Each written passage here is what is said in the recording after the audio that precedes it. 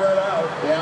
200-foot perimeter uh, fenced off by quick demolition, and people are all around it. There are hundreds of people here waiting to see this, and of course, 104 qualifiers hoping their ping pong ball hits the target. Pass the goal hardest. Quick demolition. Eight line for eight. SWA giving a thumbs up. They've got uh, two guys on side ropes to make sure that that thing doesn't sway too much. We got Rick in the cab. He's ready to pull the lever and drop this thing. My nipples are hard. Those nipples are hard. And he drops the entire thing, pumpkin and all. Slam! Fuck, that'd be loud. Here we go.